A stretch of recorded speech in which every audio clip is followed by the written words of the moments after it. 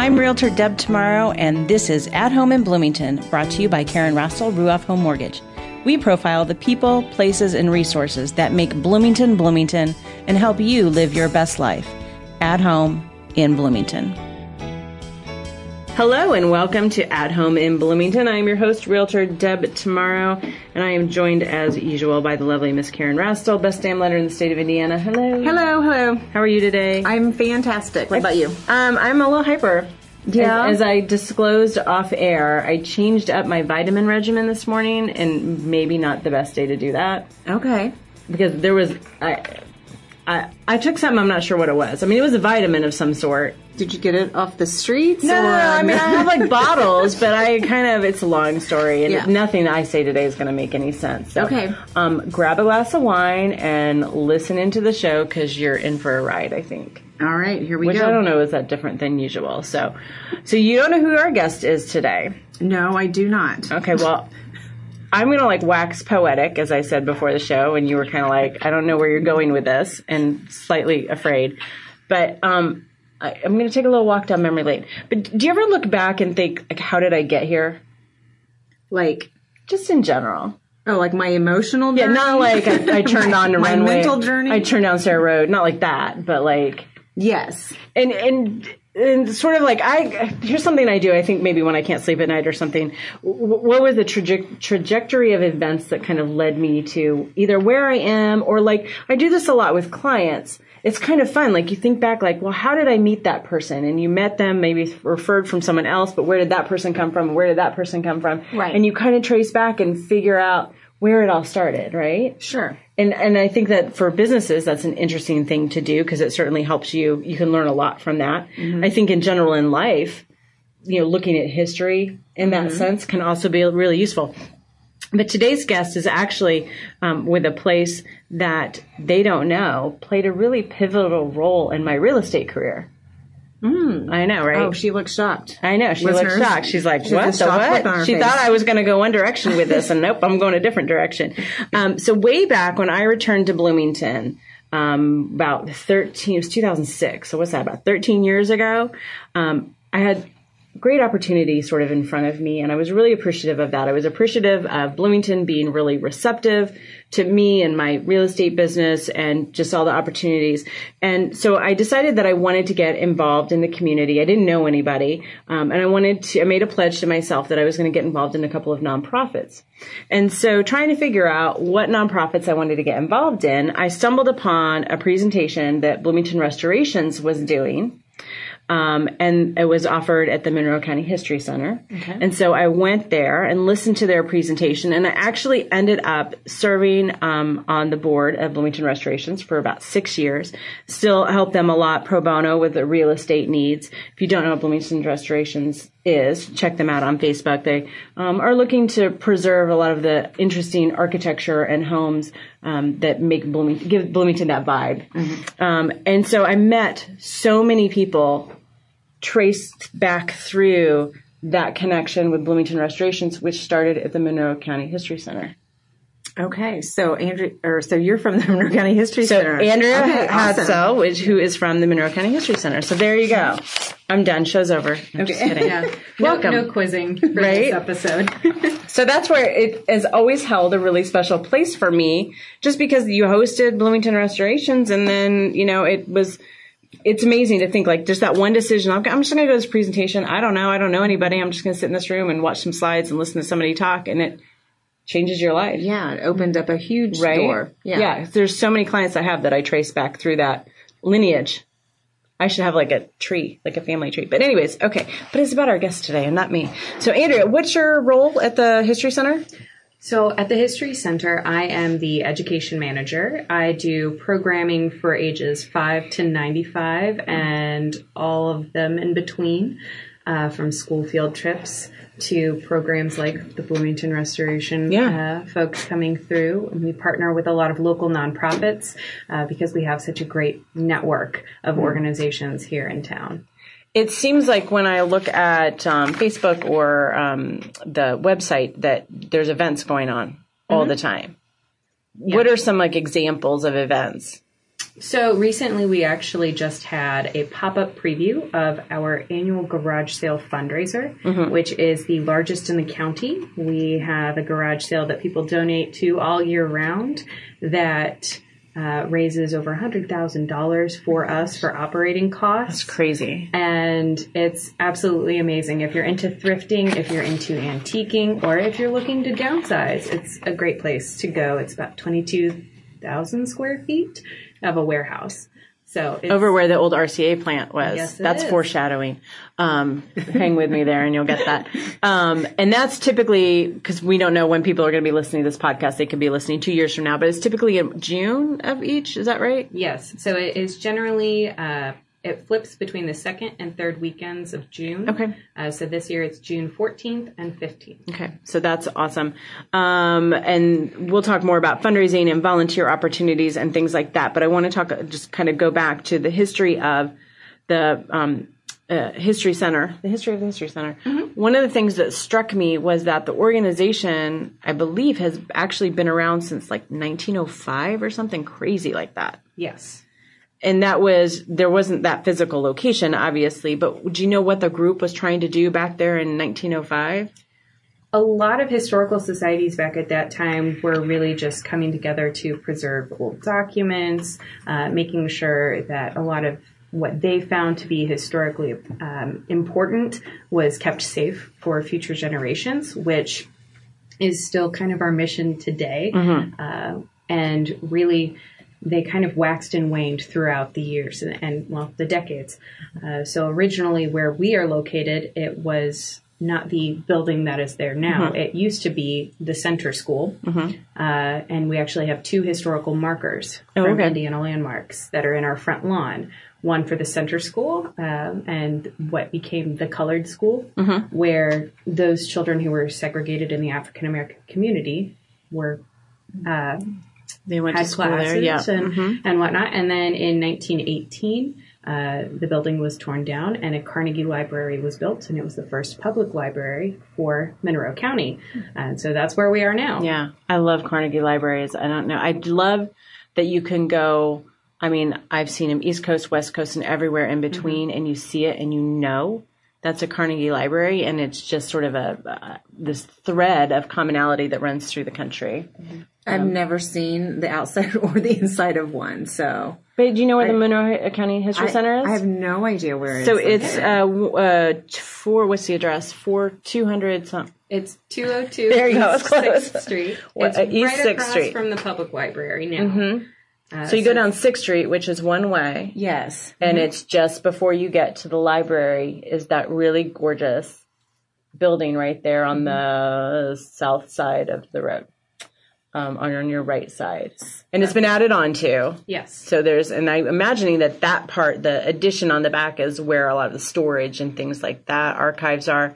But the actual galleries are in the original library space Okay. Um, I'll pay attention. I go down Sixth Street when Yeah. I'm going to a board meeting once a mm-hmm. month, mm-hmm. But I'm having to watch for Parking. people, parking, and people Yes. who kind of dart out. So I don't even. I know Right. I know that area, but um, I've never even looked the, over. The entrance is on Washington. Yes, Yep. is. So it's on the side on Washington. So you don't go up the steps to, to the main entrance, what you feel like is the main entrance, because that's the galleries. Um, so there's an entrance on the side there, but um, it's a really cool building, um, and it actually sat vacant. Right, it was a library until about 1970, and then sat vacant for I think about eight years. About eight years, and then a group that was dubbed the Old Library Incorporated, uh, shortened to TOLI, uh, actually got the building for a dollar, and they had a whole bunch of different nonprofit organizations that were housed within the building until about 1980, 1981, when the Historical Society took it over, started uh, revitalizing, revamping it, um, in part thanks very much uh, to the Cooks, who took an interest in revitalizing Bloomington. And then the addition, where a lot of our staff offices and collection storage uh, was built in the late 90s. Um, so it's very accessible. Um, admission is super inexpensive. It's two dollars to just go in and take a look around.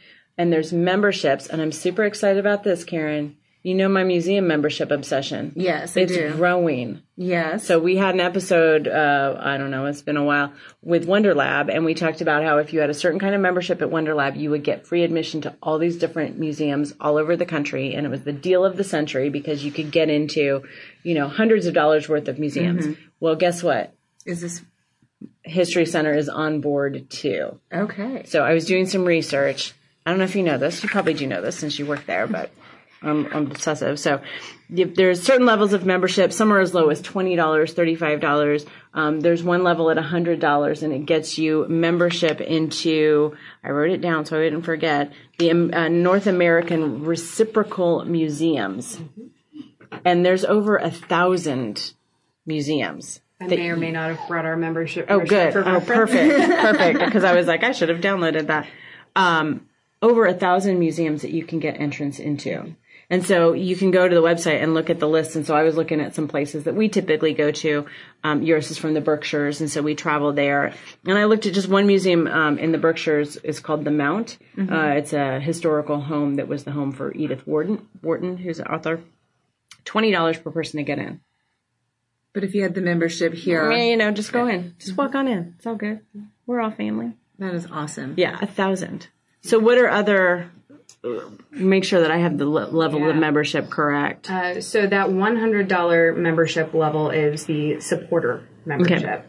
Um, but all of our membership levels actually include the Time Travelers Reciprocal uh, Museum Membership Program, which gets you about 300 history museums across the nation. oh, nice. And then NARM, the North Yeah. American Reciprocal Museums, is actually an international program Yeah. as well. So you can get into some places. um, Canada and and think- Venezuela or something. Yeah. Yes, so it's phenomenal. Yeah. Um, and just going down the list, uh, the more you pay in your membership Mm-hmm. pledge, uh, you also have uh, some discounted rates for other museums in the state of Indiana, as well as the option for behind the scenes tours and collections and some uh, private events and maybe some uh, extra early previews of exhibits, which is a fantastic opportunity uh, for such a, a local museum. Yeah. We've actually had members who have given up their uh, membership for like the Indianapolis Museum of Art because they were a part of NARM. Mm-hmm. Oh, And so they said, you know what, I'm going to be, I'm going to give to my local Yeah. history museum. Right. And I'll still get that benefit of Right. NARM to go to what is now Newfields. Right. Uh, so- Yeah, I, and now I think that's going to be that's like my mission now. I want everyone to know, like, before you go on vacation, if you're going to go and hit any museums, you need to hit up your local museums and see if they have some reciprocal memberships because um, we definitely want to, you know, keep things local if we can. It's really really cool. Let's talk a little bit about um, some of the exhibits that you currently have. Um, uh, we had I had mentioned RCA, and so you've got a big exhibit right now, which is Women of RCA Yes. and that's uh, really fun. It talks about um, the evolution of women in the workforce during World War II, um, and and has some interesting things. And I uh, I immediately called Eurus, and I was like, I just learned a really interesting fun fact, which was the Madame X. Yes. Can you share that story of what what's what was going on here? So the Madame X project uh, took place in what was nicknamed the secret room in the RCA plants. So it was a obviously secret project that was attached to the U.S. military, and they were creating uh, missile heads, which you can actually see. Uh, I believe it is one of the missile heads that they created that one of our members actually loaned us on exhibit, uh, and so that was actually quite integral to a lot of the success that we had within World War II. And we, decades later, still had a lot of FBI monitoring of telling the story about what happened in the secret room, what they were building. Uh, so there's not a lot of concrete information about it. Um, but we do have several people in the community who still say, I worked in the secret Oh, room, wow. or my mother did, or my and I can't did." tell you about it. Yeah, exactly. They Um, said that uh, I read that it was second only to the Manhattan Project in terms of the secrecy of it, and the Manhattan Project was the atomic bomb. Mm-hmm. So it was a really big deal going on here uh, in Bloomington. There were FBI agents, you know. That is I'm so assuming we were like, well, how did they monitor? They probably would just sat in their black, big black cars and, you know, in their fedoras and just sat and watched people leave work and followed them. And right, mm-hmm. I don't know. It's kind of crazy to think about. So how often, so that's a temporary exhibit that, right? Mm-hmm. That's not permanent. So how long do those exhibits typically stay? So that gallery in particular, our Rector Gallery, changes about every four to five months. Okay. So the Women in RCA exhibit will actually be ending uh, in May 18th Okay. of this year to 2019, and then we will be opening up Michelangelo's of Monroe, which will be talking about famous limestone carvers from Monroe. County, and we'll be featuring some contemporary carvers as well, Oh, nice. beginning in June for Limestone Month. Cool. And then you have exhibits that are always there, right? Like the schoolroom. There's sort of a pioneer schoolroom and a log cabin. Yes. Um, and I imagine those are pretty popular with the school kids. Absolutely. And we're constantly doing small adjustments uh, to our permanent gallery just to make sure that we're updating and being inclusive with the stories that we're telling for Monroe County's history. But all of the kids that I have on field trips say that they love the schoolhouse. Yeah. They don't want to go to school in Right. one room schoolhouse, Right. but they think it's, it's the tiny. Yeah, for sure. And they're fascinated by the dunce cap that we have. Yeah. They don't they don't make the connection of what the dunce cap Yeah. means, but they love to put it on and kind of run around. Um, Yeah. So it's, it's great fun. That's awesome. One of the things I really loved about um, walking around and, and looking at the different exhibits is that you see names that start to sort of put pieces together for, for Bloomington and Monroe County. You know, you see things and you're like, oh, well, there's a building on campus named after that person. Or um, I know we've talked about the McCullough School because you had a class, I think, an in art the- class art class in McCullough School, and there's a you know some displays on her and what you know why she was important and the impact she made.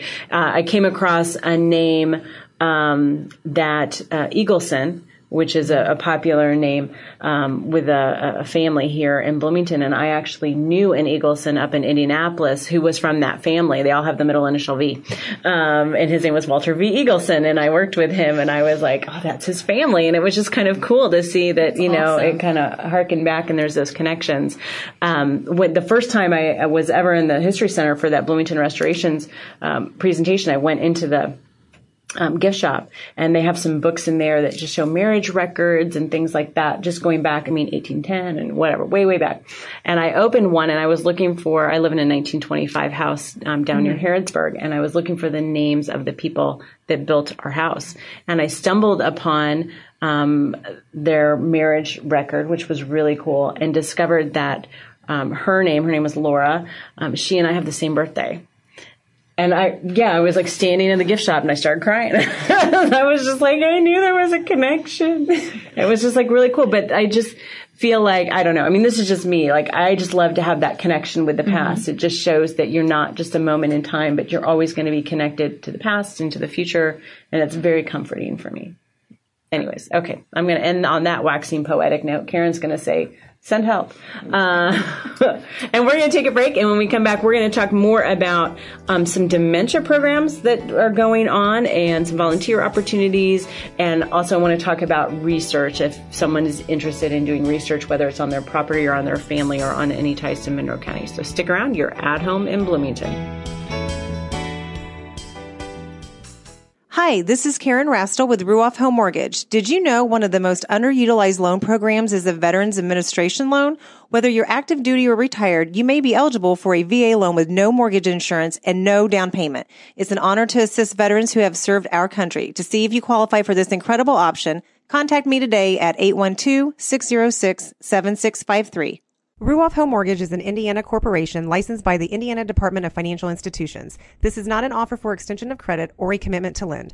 All loans must satisfy company underwriting guidelines, equal housing lender, NMLS number 141868.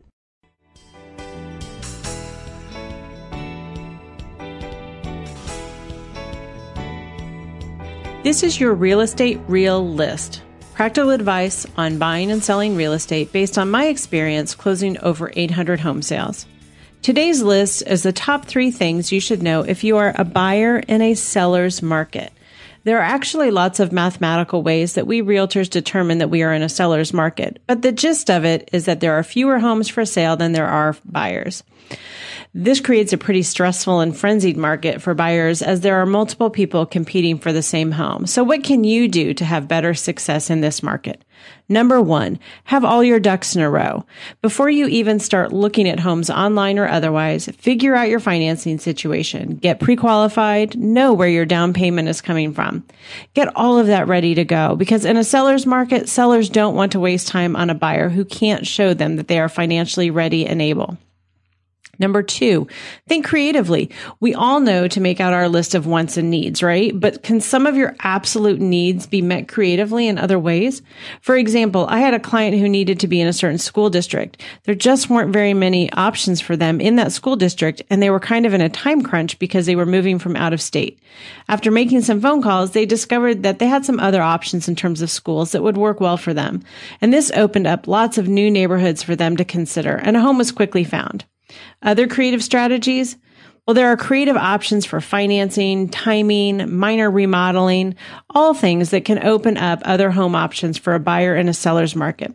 So call upon your team, your realtor and your lender to help you think outside the box. And number three, Work with a realtor who is full time and obsessed. Don't try to go it alone or with someone who isn't all in. You need someone who is on top of new listings, new strategies, readily accessible and responsive. It's the only way to have a shot in this market where every second counts. For more information on being a buyer in a seller's market, listen to my Real Real Estate Today podcast, shows number 89 and 90. You can find that on iTunes and YouTube. My name is Brittany, and Deb Tomaro is my realtor. She helped me buy my first home. I enjoyed working with Deb because she was patient, thorough, and made the experience fun. Deb should be your realtor too. And now back to the show. All right, welcome back to At Home in Bloomington. I'm your host, Realtor Deb Tomaro, and we are talking with Andrea Hadsell of the Monroe County History Center. And before we get back to her, I want to share our Facebook follow segment.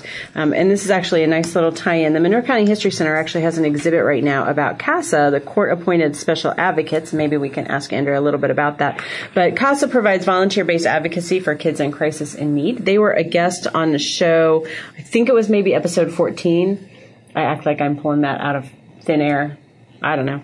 Um, but they were on a show, and um, and I want to encourage everyone to follow them on Facebook um, and look for volunteer opportunities. They have short term opportunities and longer term opportunities. So don't feel like uh, you can't make a big commitment because there's still opportunities for you. Um, and also be sure to follow Jordy, the Casa dog.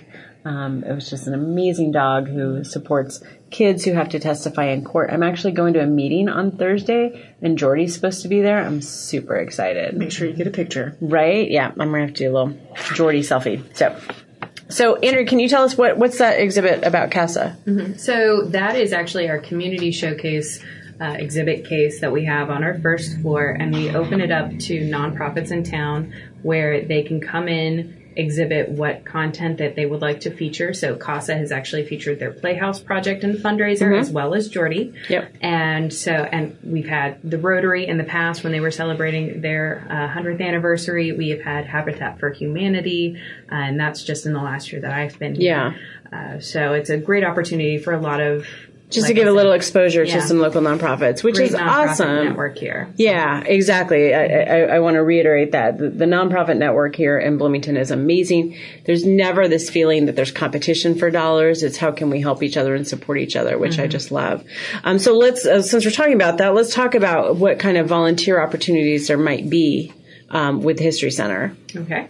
So we do have a few volunteer opportunities, whether it is researching in our library or um, helping out with our general buildings and grounds operations. Uh, we do a lot of front desk, welcome desk attendant, uh, and uh, day of special events. We do a lot of events where we see hundreds of people in one day, like our annual Puzzle Fest, uh, which is a fundraiser. And so it's always great to have volunteers come in and just support us so that we don't kind of run around like chickens with our heads cut off Right. going, oh Right. no, what do we do? Right. Um, So one-time events, uh, or there could be long-term, like uh, you know, come every Tuesday from three to five or whatever, and Yeah. do yeah, awesome. Um, and while I say that, let's remind everyone of the museum hours. Absolutely. So we are open from uh, 10 to 4 p.m. Tuesdays through Saturdays. Okay. And again, our front entrance is on Washington Street. Um, and then, uh, you, and your website. We should remind people of that too. Karen, you usually remind me to ask people about website. I, I do. I'm I'm behind. I'm behind. Falling out on the job. Yes. Uh, what's the website? It is www.monroehistory.org. Awesome. And that I would recommend anyone go check out because there are online exhibits and some online information. There was one I started to get into this morning and then I was like, oh, I don't have time to like really get into it. There's a black hole that you could just Yeah. start going down. Right. Yeah. Um, there's tons of archives and things, but there was um, a really interesting um, research kind of, I think it was a doctoral thesis on Monroe Lake, uh, Lake Monroe. Mm-hmm. Um, and I don't know if you're new to the area. I was showing a property to some people yesterday and they didn't really know anything about Bloomington. So I just started spewing as I can do and telling them everything I ever want to know. But um, Lake, they were asking about what's that lake down there? And I was like, Lake Monroe. But it's really only been there since the 60s. And I don't know how, if people really realize how many um, towns, homes, farms, cemeteries are under that lake. Um, and to think about, you know, we went through I 69 here recently with eminent dom- domain and some homes being taken. Um, but to have your families, and I know that that was impactful for a lot of people, and this is very similar, you know, acres and acres and acres of farmland that has been in families for multiple generations. And, um, it, the stories are like, it's hard to read some of it. You know, there was a lot of anger and, um, and, you, and again, and you're seeing last names that you still see around town today too. Yeah, I recently had a visitor come in who told me her grandmother's house was in the area where Lake Monroe is now, and so she was kind of recounting going to visit her grandmother and some of the fun times she had, and then all of a sudden this project came through, and now it's in the middle of the lake. Right. So, you know, Never heard that story. yeah, it's, it's amazing to churches and schools. They were all, you know, they're all under that lake. That's why I don't swim in that lake. There's things in there. But anyways, that's a whole other story. Uh, so let's talk about um, research. Um, and I want people to um, know and feel comfortable going in there and, and doing research because that's really a big, big part of it's not just the exhibits, but being available and having all of these archives for people to come in um, and research. So, what are the kinds of things that people come in and want to research? Everything under the sun that relates to Monroe County. Yeah. Uh, so we are the county's repository for genealogical resources. We are first and foremost a genealogy research library. Uh, so we have lots of things like birth, death, marriage records, indexes. Uh, we also have uh, probate and will records. We have um, a beautiful case of maps. So if you ever want to look at the county map before Lake Monroe was in place, How interesting. you can do so. Um, we have some interesting court records and all kinds of things that are quite interesting. If you'd like to research your house's history, or if you would like to research one of the 300 cemeteries we have in the county, you can do so in our research library. I think that's something I get a lot. People want to know the history of homes. Um, and, you know, that's something I know a little bit about the history of my house, and I'd certainly like to try and dig in a little bit more. Um, it, in you know who were the, I know the names of the people, but you know what did they do? And I've so heard interesting stories. You know, there's a story about one of the former um, um, athletic directors of IU, like back in the 30s, lived in the home, is what I'm told. And then um, Doc Mitchell, who is well known, Monroe County, owned the property, but he never lived there. His wife lived there. He lived over in Smithville because that's where his patients were.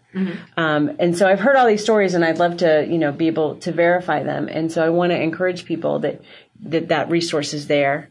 Um, I had a really interesting closing last week. A young couple buying a house over in Ellettsville, and that was only the house was built in the 60s and it was the third owner um, my clients who were buying it. And they brought to closing what's called an abstract which is it was probably three or four inches thick and it was the entire history of the property back from the beginning of time. We don't do abstracts anymore. We just do a title search um, in, in real estate. But this abstract, I was like, okay, this needs to stay with the house.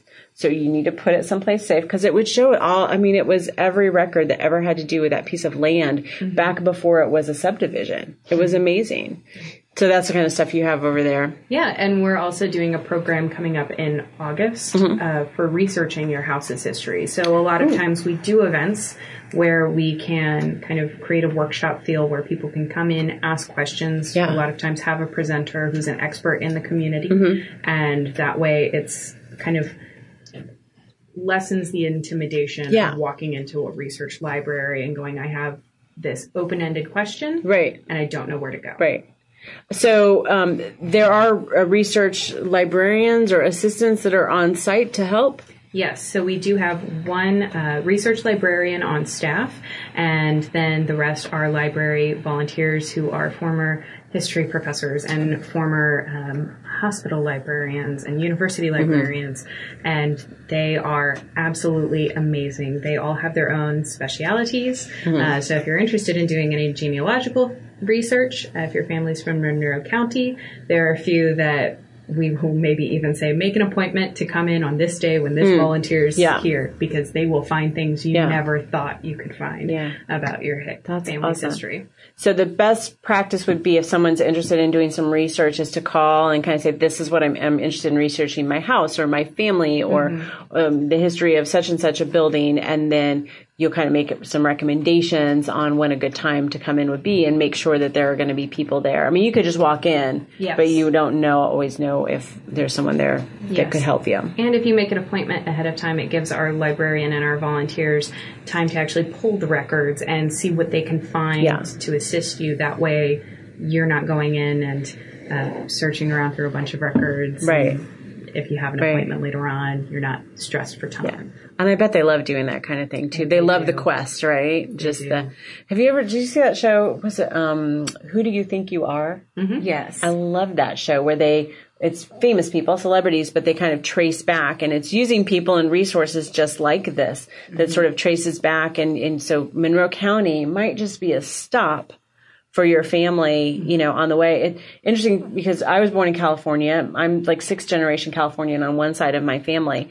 But as my dad was doing some genealogy, um, he found that there was like a, a great great grandfather who was in Greencastle, Indiana. Oh, wow. And it's like, well, that's kind of crazy. It was just sort of a stop along the way, Mm-hmm. you know, but there are some birth records. And I remember as a kid, we're like, well, we got to go check that out, you know, because somehow we ended up back in Indiana briefly Mm-hmm. kind of thing. So, um, yeah, I just think that that's so interesting to, to research. That would be really cool one to do the thing in August on your home, especially if there's going to be, like you mentioned, a workshop set up. Because Deb and I have always talked about going into um, going into an event or going into a new place, which I have like huge anxiety to do that kind of mm-hmm. stuff and mm-hmm. not know what the flow is going to be or or or what to expect. And like you Being said, unprepared. being unprepared um, because I just want to go in there and just kind of dive in and then mm-hmm. start like researching. But I I think just like you mentioned earlier, the quest would be would be the fun part is finding you know. But I think having things. having someone guide you in that quest makes it even more satisfying because you're going to increase your chances of success at finding Mm-hmm. what you want to find. So, Karen, you made a note about 300 cemeteries. Does Yeah. that boggle your mind? It does because um, coming from a small town Mm-hmm. where there's not nearly, I don't believe there's 300 cemeteries where I'm from, but But I think would, you'd be surprised because I know like one cemetery I was looking at a note, I think it was on your website, on the Monroe County History Center website, and it only has 18 people in it. Mm-hmm. So there are, but it's a cemetery. And Yeah. it certainly is something that wants to be respected. Um, I know my family has a cemetery in California that I don't think anybody else knows about except us. It's just kind of tucked away. So I think there's probably there's more dead people out there Well- than you think. No, I find that so interesting because if you recall, um, driving up what is now 69 North, headed Yeah. to Martinsville or Yes. Indianapolis, there used to be Yeah. one off to the right hand side. Yeah. Um, I guess it's the east side of the of the highway that was you could tell off. was small, right? And I don't think I see that anymore. I don't know if that's still there. I don't know, but anyways, that's what Yeah. I was thinking whenever she said 300 cemeteries. I'm like, what? Yeah. Like, I know Monroe County's fairly, fairly large, but Yeah. that's what I was envisioning. Envisioning is um, a bunch of smaller um, plots like that Right. around the county. Yeah, I see dead people. I should say that. All right. Um, and the last thing that I want to make sure that we talk about, because partly because we have a theme going over the past few uh, podcasts, um, but partly also because it's just really interesting, is the dementia program that is going on at the History Center. Tell us about that. So back in December, we were awarded a $30,000 community impact grant from the Community Foundation of Bloomington and Monroe County. Um, that's a mouthful, but Yeah. it's a wonderful, wonderful mouthful because Yes. they granted us those funds to start a pilot program for our Living with History uh, programming at the History Center in collaboration with IU Health's Alzheimer's Resource Services. So we are creating a multifaceted approach to create opportunities for community members and their care partners, anyone who's touched by dementia, to come in and engage and spark conversation, spark reminiscences using artifacts and archives from the History Center's collection, um, but also in a way that can kind of lessen the sense of isolation and community and kind of really get the awareness out of what it's like to live with dementia, but also um, connect them with everyone else around uh, them. So we're creating uh, suitcases that you can check out. They'll have about 10 to 15 objects where there will be a near field uh, communication device where you can place an object on the reader and it will say something about that object. Or uh, say if it's a Superman comic book from the 1960s, you place it on the communication device and it will say it's a bird, it's a plane, uh, which is really exciting because it's quite innovative technology that not a lot of people are doing um, or using yet. And Are the so- suitcases like year specific or era specific? So you'd be like, I need a suitcase from the, you know, early 50s or something? So that's we're going to have themed cases. So Our very first themed case is the 1960s. Okay. Uh, originally, we were actually thinking it was going to be the 1940s and the 1950s. Yeah. But partnering with the Alzheimer's Resource Services folks, they actually let us connect with the folks that they serve. Mm-hmm. We sent out a topic testing survey, and they said, actually, no, we want to talk about the 60s. Gotcha. Uh, which is phenomenal because it's actually putting the collaboration to the test. Right. serving them the way that they want to be Yeah. served. Um, so we're also going to be doing uh, the IU experience.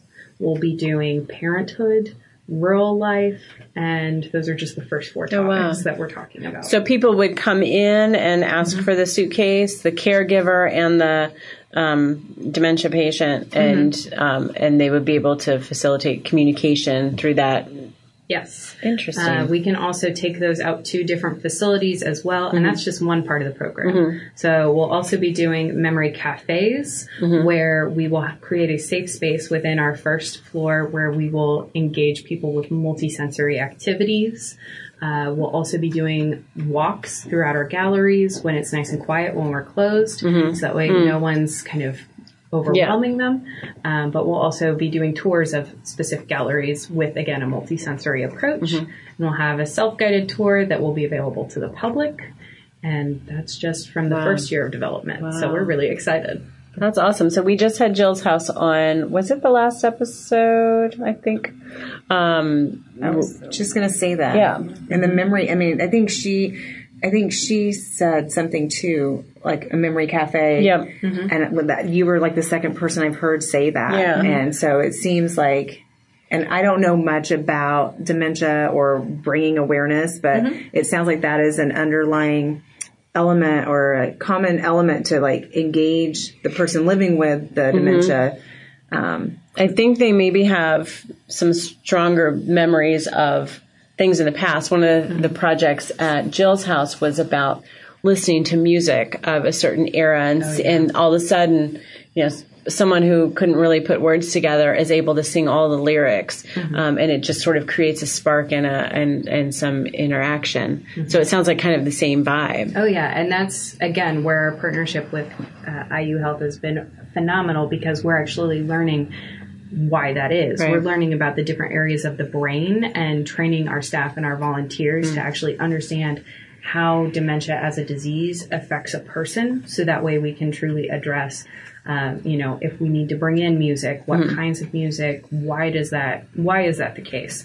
Um, or what kinds of prompt questions we can use to engage people in conversation so that it's not just us lecturing for a lesson Wonder how many other history centers are doing similar things. It seems so cross um, cross pollination is what I want to call it. You know, That's actually the question we've been getting a lot, and we've it's kind of been one of those. Well, why aren't you guys doing this? Yeah. Mm, It's oftentimes a lot of art museums that are okay. working with folks who are living with dementia, uh, but really the program that we were inspired by was at the National Museums of Liverpool. oh, Uh, and so they actually have a program and an, a mobile app called the House of Memories, which is on a larger scale for them. Um, it's gone nationwide in the UK, hmm. and it's quite helpful in really just curating your own memories using objects from their museum's mm-hmm. collection.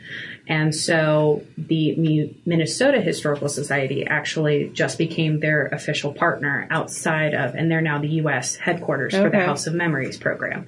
So other than that, when it comes to a smaller scale, we are actually as Pioneers. from Liverpool. Yeah, the pioneers, Right. or we're the the Mavericks. Yeah. some of our Right. friends from Liverpool have called us. That's awesome. Well, that's super exciting. And I didn't realize, um, but you had told me that the mayor made a declaration just last week um, about Bloomington being a dementia friendly city. Yes. Um, and so that's just really, I think, a theme that we're going to see continue. There's there's a reason that that theme is continuing on the podcast uh, because we mirror, we try to mirror what's going on in Bloomington. So thank you so much for joining us today. Uh, we had a ton of fun.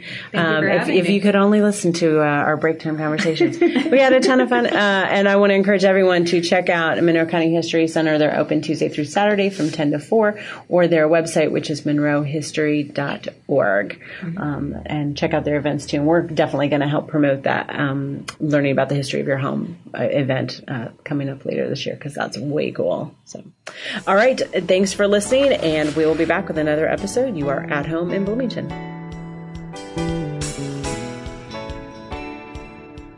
Got a show idea? I'd love to hear it. And be sure to contact me for all your real estate needs and questions too. You can email me at deb at realrealestatetoday.com and follow me on Facebook at Deb Tomaro Realtor. To contact Karen Rastel for all your mortgage needs, call 812 606 7653 or log on to ruoff.com and go to the Bloomington Center. Thanks to all the Bloomington people who make production of At Home in Bloomington possible. Special thanks to superstar producer Rachel. Gregorio, digital guru Cynthia Hogan at Monster Digital Marketing for website design and hosting, and video genius Wes Lasher in the production house for engineering the show.